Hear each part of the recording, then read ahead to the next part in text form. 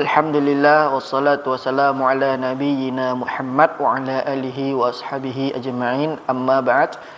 Uh, sekarang kita akan kembali kepada tafriq di madda usul fiqih di muhadarah yang kelima al-muhadaratul khamisah.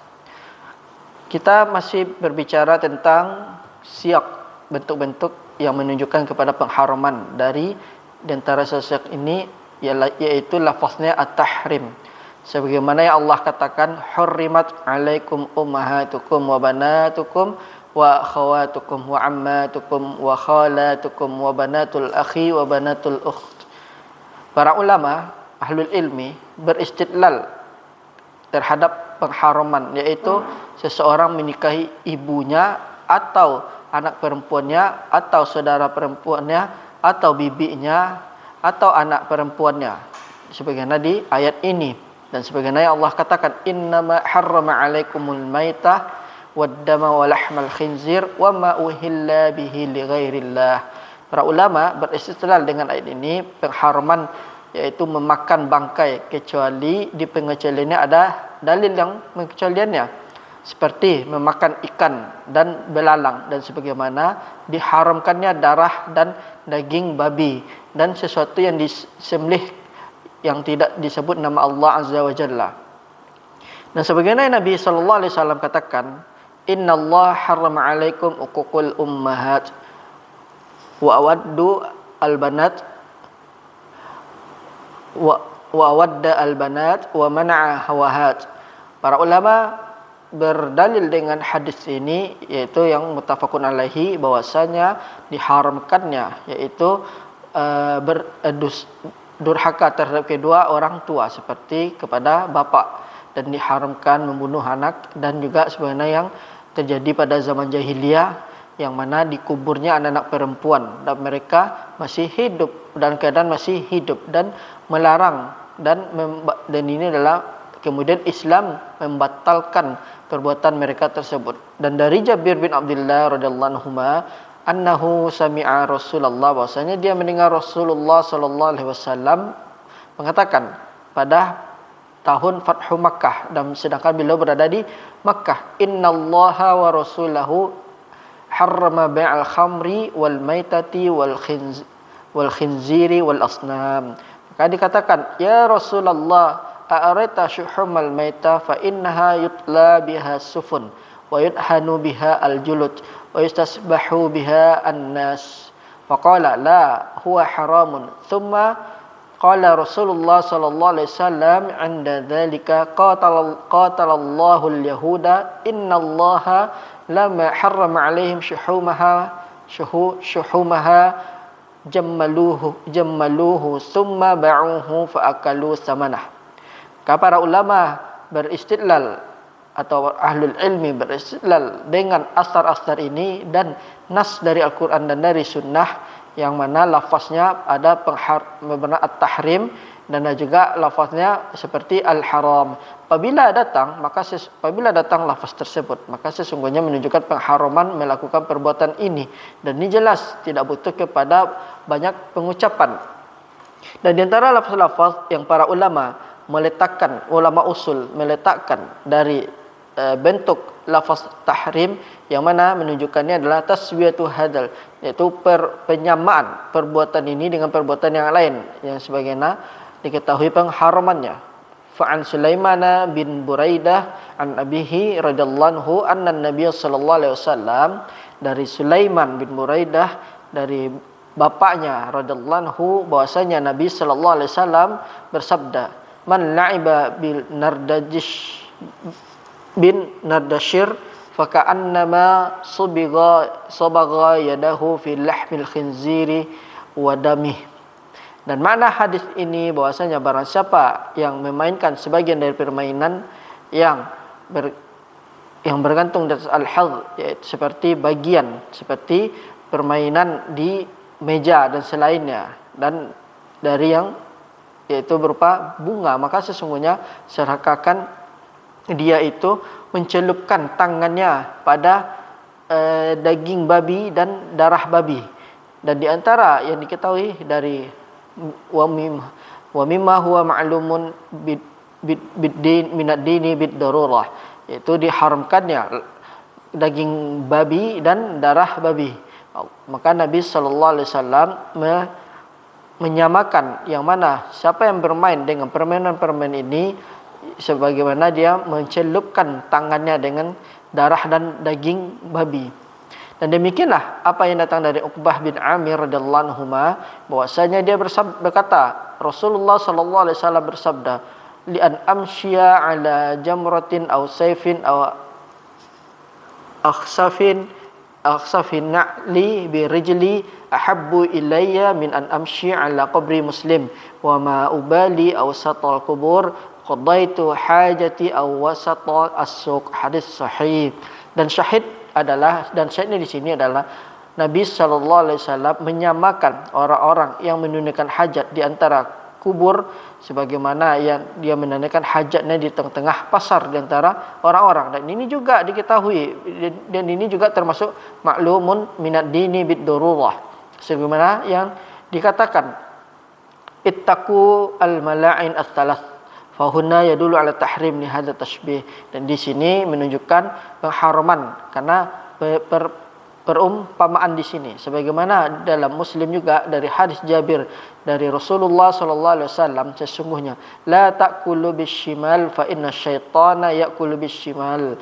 Maka nabi datang hadis ini datang pelarangan yaitu seorang muslim diumpamakan dengan syaitan yaitu ketika makan dengan tangan kiri. Di antara siap bentuk yang menunjukkan dalam pengharaman adalah datang sebagian lafaz yang mana dipaham itu makna haram tersebut dalam melakukannya seperti penamaan perbuatan kafara kufran au maksiyatan au fisqan au khati'atan au dhanban au kabiratan. Maka lafaz-lafaz ini para ulama usul meletakkannya mereka berdalil dengan yaitu pengharaman melakukan perbuatan tersebut.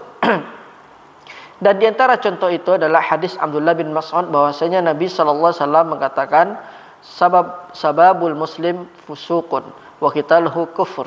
Dan hadis ini menunjukkan bahawa saya tidak boleh bagimu mencela seorang muslim dan tidak pula kamu membunuhnya atau memeranginya. Sebagaimana dari Abu Hurairah radhiyallahu anhu dari Nabi sallallahu alaihi wasallam beliau mengatakan la targhabu an abaikum faman raghiba an abihi fahuwa kafar. Dari Ibnu Umar radhiyallahu anhu ma anna Nabi sallallahu alaihi wasallam bahwasanya Nabi sallallahu alaihi wasallam bersabda qala idza kafara ar-rajul akhahu faqad ba'a biha ahaduhuma.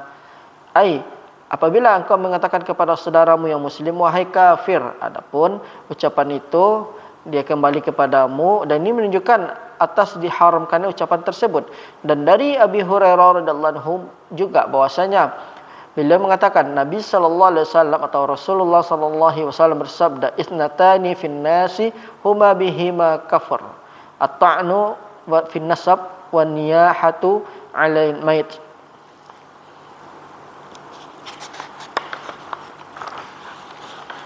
maka menunjukkan bahwa kalimat kufur apabila disebutkan di dalam hadis maksudnya adalah haram mengerjakannya. Sebagaimana kalimat maksiat apabila disebutkan menunjukkan para ulama ahlul ilmi beristidlal dengan kalimat tersebut atas pengharaman melakukan itu. Seperti hadis Abi Hurairah radhiyallahu anhu bahwasanya beliau mengatakan ayu yarfa' dzalik yang sahih al-waqaf wa yaqul syarat ta'ami ta'amul walimati. Yud'a ila laha al-aghniya wa yutraku al-fuqara. Wa man taraka da'wata faqad asallaha wa rasulaha sallallahu alaihi wasallam. Maka makna maksiat kepada Allah dan maksiat kepada Rasul menunjukkan kepada pengharaman. Dan demikianlah uh, radhiyallahu anhu bahasanya Rasulullah sallallahu alaihi wasallam bersabda man ata'ani faqad ata'allaha wa man asani faqad asallaha wa man ata'a amiri faqad ata'ani wa man asa amiri faqad asani. Muttafaqun alaihi. Ahlul ilmi beristidlal pengharuman bermaksud kepada Allah dan kepada Rasulnya sallallahu alaihi wasallam. Dan dari hadis itu yaitu Abi Sya'sa uh, beliau mengatakan كنا قعودا في المسجد مع أبي هريرة رضي الله عنه فأذن المؤذن فقام رجل من المسجد يمشي فأتبعه أبو هريرة بصره حتى خرج من المسجد ثم قال أبو هريرة أما هذا فقد أصى أبا القاسم صلى الله عليه وسلم. demikianlah lafaz al-fisq. Seperti cepan firman Allah Subhanahu wa taala. Wala ta'kulu mimma lam yuzkar ismallah lam yuzkar ismallahi alaihi wa innahu lafisq. Dan hadis yang menunjukkan yang telah kita lewati ucapan Nabi sallallahu alaihi wasallam sababul muslim fusuqun. Para ahlul ilmi beristidlal bahwasanya lafaz ini iaitu fisk wa fusuq menunjukkan kepada pengharaman. Demikian pula lafaz al khati'ah sebagaimana yang Allah katakan wa may yaksib khati'atun au wa man yaksib khati'atan au isman thumma yarmi bihi bari'an faqad ihtamala buhtanan wa isman mubina. Dari Anas radhiyallahu anhu bahasanya Rasulullah sallallahu alaihi wasallam bersabda al-muzaqu fil masjid khati'atun wa kafaratuha dafnuha. Dan di antara lafaz-lafaz juga bahwa dinamakan melakukan zamban yaitu perbuatan dosa. Seperti hadis Abu Abdullah Abdullah bin Mas'ud radhiyallahu anhu bahwasanya dia berkata aku bertanya kepada Rasul Nabi sallallahu alaihi wasallam apa dosa yang paling besar di sisi Allah? Kemudian Rasulullah bersabda anta ja'ala lillahi niddan wa huwa khalaqak. In inna dzalika la'zimun qultu kemudian aku katakan uh, summa kemudian apa kemudian beliau mengatakan wa in taqtulal waladaka wa an taqtula waladaka takhafu an yat'ama ma'ak. Qultu summa ay qala an tuzaniya halilata jarik. Apabila disebutkan perbuatan uh, lafaz uh, apabila disebutkan melakukan dengan lafaz zaman menunjukkan kepada pengharaman. Dan antara lafaz-lafaz yang menunjukkan di atas pengharaman itu menamakan fi'il. Eh, penamaan perbuatan tersebut adalah kabirah. Sebagaimana dalam hadis Abi Bakrah radhiyallahu anhu beliau mengatakan Nabi bersabda Nabi wasallam bersabda ala unabbiukum bi akbaril kabair thalathan? Qalu bala ya rasulullah qala al syirk al-isyraku billah wa uququl walidain wal jalasa wa kana muttaqian faqala ala wa aqaw wa qaul zur. Qala fama zalla yukarriruha hatta qulna laitah laitah sakat ini semuanya lafaz-lafaz yang menunjukkan dalam pengharaman maka ini adalah bentuk pengharaman sebagaimana telah kami sebutkan pada hari ini dan kami telah menyebutkan pada muhadarah yang berlalu yang telah berlalu kemudian tersisa bagi kita sejumlah faedah. Faedah yang pertama adalah malaiti mutarkul haram illa bihi fatarakahu wajib. Apabila seseorang tidak bisa meninggalkan yang haram kecuali dia meninggalkan yang mubah, maka meninggalkan yang mubah menjadi wajib. Dan seperti itu yaitu bercampurnya haram dengan yang mubah atau mustahab maka meninggalkan yang haram dan mubah mustahab itu menjadi yang penting dan wajib. Dan para ulama memberikan beberapa contoh. Seseorang seakan pergi ke rumah. Di dalamnya itu terdapat para pemudi. Untuk para wanita yang ia ingin menkhibah salah satu dari mereka dan menikahi salah satu dari mereka maka mereka mengatakan kepadanya ini anak gadis ini para wanita ini satu saudaramu uh, dalam persesusuan dan tidaklah dia mengetahuinya dan mereka juga tidak mengetahuinya. Uh, maksudnya adalah Fatimah wa Aisyah wa Zainab salah satu dari mereka saudaranya dari sepersusuan.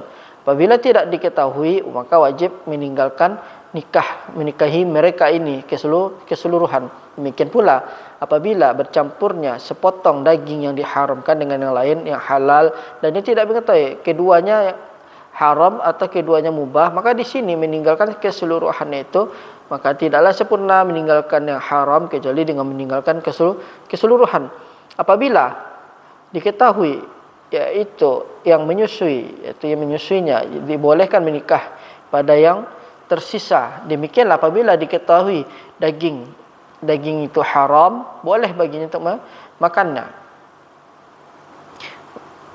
di sini faedah yang lain yaitu ucapan para ulama al-aslu fil ibadat at-tahrim. Maka tidak boleh bagi seorang muslim beribadah kepada Allah dengan suatu ibadah kecuali apa yang dalil dari syariat datang kepadanya yang menjadikan itu ibadah ini syariatkan. Maka tidak boleh bagi kita untuk kita berinovasi dalam beribadah yang baru dan beribadah kepada Allah dengan sesuatu yang baru.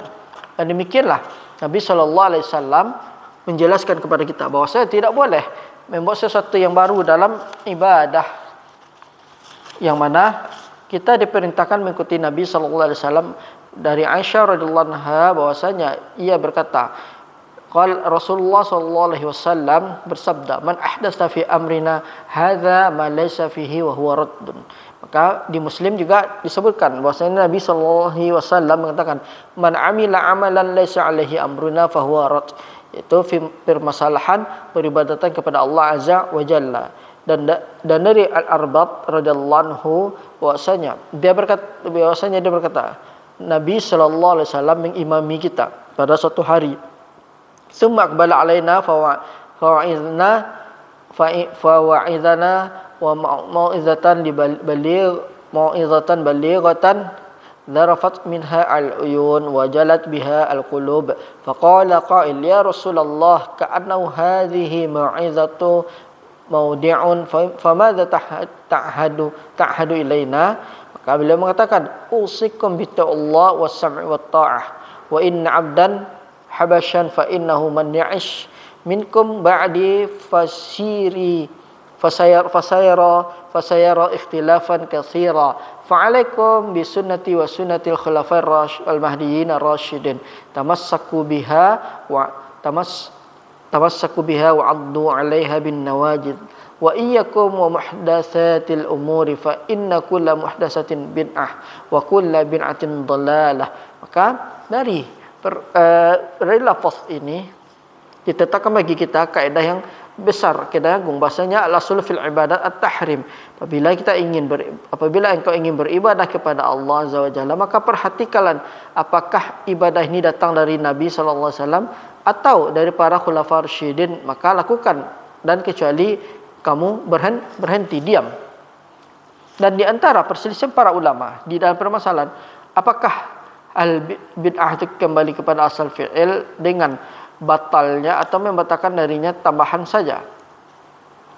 Para ulama katakan, apabila bid'ah ini bersambung dengan pokok dasar ibadah atau tambahan, maka ketika itu batal ibadah dari asalnya. Seperti itu, seseorang melakukan salat zuhur lima rakaat dengan sengaja, maka kita katakan solatnya semuanya batal karena rakaat kelima bersambung dengan rakaat ke keempat.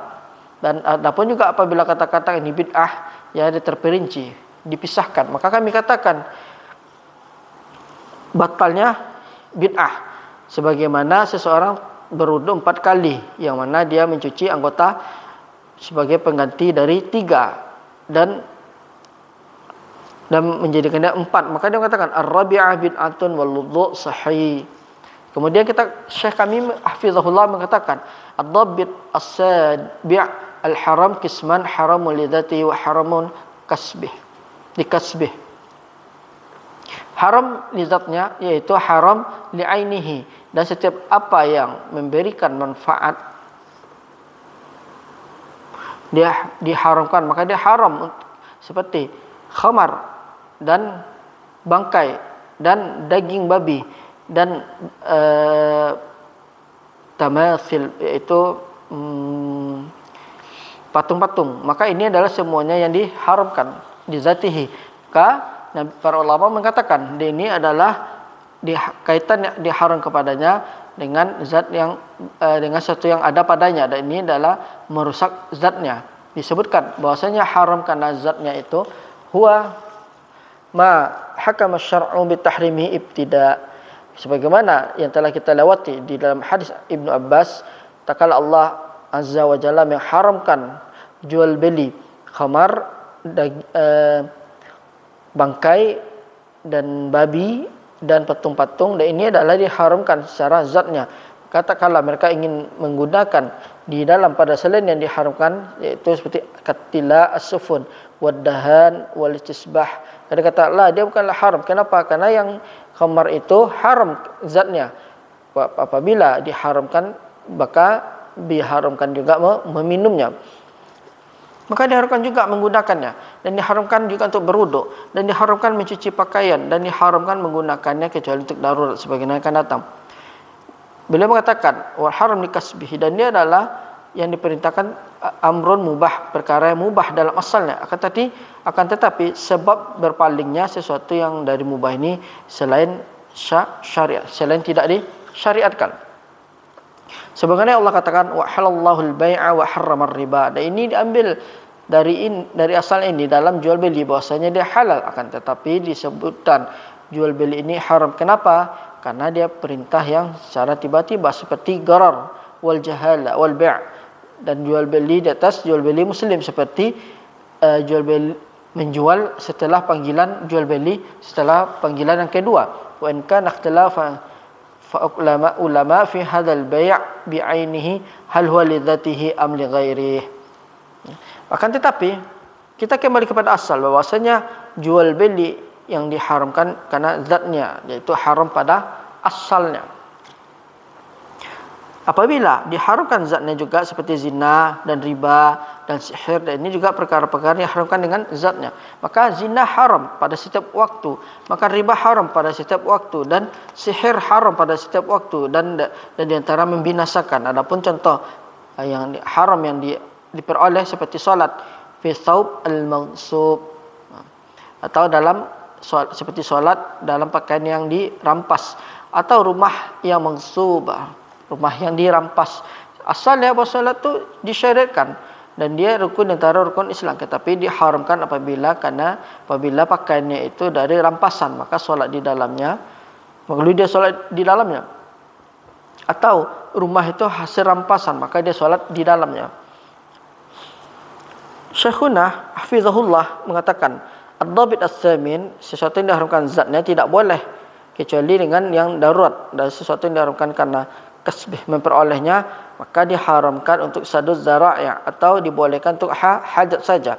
Dan di sini kata-kata beliau mengatakan diharamkan zatnya itu tidaklah di uh, haramkan kecuali tidaklah dibolehkan kecuali dengan darurat. Dan ini adalah apa yang dikatakan oleh mereka ad-daruratu tubihul mahzurat dan darurat jamak dari darurat diambil dari kalimat ittirar dan ia adalah sangat butuh dan masyaqqah syadidah dan itu iaitu sangat kesulitan. Tidak ada yang bisa menolaknya. Menolaknya. Para ulama mengatakan dan ini adalah perkara tiba-tiba kepada keadaan manusia minal minal khatar yang bahaya dan kesulitan. Dan di, di sini takutnya terjadi yang bahaya atau mengganggu jiwa mengganggu seorang atau anggota badan atau harga diri atau dengan akal atau harta. Dan kan ini para ulama membagi kepada perkara-perkara yaitu tiga menjadi tiga derajat. Derajat yang pertama ad-darurat. Yang kedua adalah al-hajiyat. Yang ketiga adalah maslahah wa tahsinat. Maka darurat di sini adalah pembagian yang paling tertinggi dan dia adalah uh, uh, maslahat yang mana tidak sepatutnya darinya dalam melakukan kemaslahat untuk din dan dunianya. Dan sebagian para ulama mengatakan datangnya kebaikan al-masalih daruriyah dengan menjaga hifzuddin, nafas, akal, nasab wal mal. Dan ini semuanya adalah lima. Maka disyariatkan untuk menjaga agama. Maksudnya adalah yaitu memerangi orang kafir yang sesat dan memerangi orang murtad dan bersyariat untuk berjihad dan syarat syariat untuk menjaga jiwa itu uh, hukuman kisas dan hukuman untuk utang dan wajib dan mewajibkan makan dan minum ketika darurat ketika membutuhkan hajat seperti saum seorang muslim dan makan daging dan makan bangkai dan meminum khamar apabila dia melakukan maka uh, apabila dia uh, menyebabkan kepada kebinasaan. Dan syarat lafaz akal iaitu hukuman iaitu minum khamar. Wa syara' lafaz lafaz nasl iaitu hukuman bagi zina. Dan syarat untuk lafaz mal iaitu hukuman iaitu memotong eh, tangan pen pencuri. Dan apabila seorang manusia butuh kepada yang penting ini eh, tidak mencuri agar dia makan dari harta yang eh, dicurinya maka tidak mengapa sebagaimana yang Nabi SAW katakan kepada Hind khudhi ma yakfik wa waladik. Uh, khudhi ma yakfik wa waladuk bil ma'ruf. Dan bagian yang kedua itu al hajah dia itu adalah al masalih wal a'mal wa tasarrufat. Itu adalah kebaikan dan amal dan tasarrufat atau reaksi atau perbuatan. Yang mana tidaklah kehidupan berhenti di atasnya seperti keluasannya dalam bermuamalah dan safar dan sejenis itu. Dan perkara-perkara yang khusus yang mana dibutuhkan kepadanya dalam menyambung hidup. Akan tetapi bukanlah dia darurat. Mungkin dia ini adalah mencukupinya bagian yang ketiga yaitu al-hajah. Dia adalah kebaikan dan amal dan perbuatan yang mana tidaklah berhenti kehidupan di atasnya seperti yaitu keluasan dalam bermuamalah dan safar dan sejenisnya itu. Perkara-perkara khusus yang mana dibutuhkan kepadanya dalam melanjutkan kehidupan. Akan tapi bukanlah dia penting. Dan bisa jadi dia mencukupi saja. Perkara yang ketiga al-maslahah. Dan dia adalah tasarrufat. Itu adalah perbuatan yang mana tidaklah kehidupan berhenti di atasnya tidaklah kerusakan tidaklah kesombongan. Dan dia adalah dari sisi oh, memperindah dan mempercantik semata. Dan di sana ada ucapan kami dari tentang darurat. Dan darurat yang yang mana di, dibolehkannya yang diharamkan apabila seseorang melakukan melakukannya dia binasa atau dia ditimpa musibah yang sangat besar. Maka seperti memakan daging di, di gurun dan sebagainya apabila manusia diharuskan untuk berdusta atau berbicara dengan kalimat kufur sebagaimana yang dilakukan Ammar bin Yasir radhiyallahu anhu maka tidak mengapa seperti itu. Seperti juga seperti pula seseorang yang pelit bakhil tidaklah memberikan istri dan anaknya infak atau kewajibannya. Maka sesungguhnya boleh bagi istrinya untuk mengambil harta suaminya. Dan para ulama juga memberikan contoh-contoh untuk yang darurat ini. Bahwasanya seseorang yang lapar dan dia terdesak untuk memakan bangkai dan tidaklah dia mendapatkan kecuali sekedar yang menutupi rasa laparnya. Maka tidak lah sampai dia kepada batasan syab' batasan lapar sebagaimana seseorang yang mana dia eh, pemotong zira' itu sampai ke sukutnya maka dia tidaklah ditambahkan dalam jabi rajib kecuali semampu yang dia bisa. Sebagaimana seorang tabib melihat kepada aurat sama, sama saja apakah orang laki-laki atau perempuan tidaklah baginya kecuali dia semampunya saja. Maka hukum asal maksudnya para wanita itu atau wanita ber, berminyak atau berwangi-wangian di sisi wanita lain maka apabila tidak didapatkan kecuali dia minyak dan ini darurat sampai perkara itu maka sesungguhnya dia tidak melihat darinya kecuali sekedar kebutuhan saja. Dan ini ucapan yang kami katakan uh, sebelum itu. Dan apabila uh, dan juga syekh kami menyebutkan syekh kami hafizullah menyebutkan sebagian syarat-syarat yang mana seorang wanita pergi ke ila tabib pergi kepada ke dok, uh, pergi ke dokter. Pertama, apakah didapatkan seorang dokter wanita yang dalam takhasusnya? Yang kedua, apakah ada bersamanya pergi dengannya itu ke tabib wanita? Yang ketiga, apakah dia bersama mahramnya? Yang keempat, apakah sakitnya tidak mungkin dia diam di atas sana?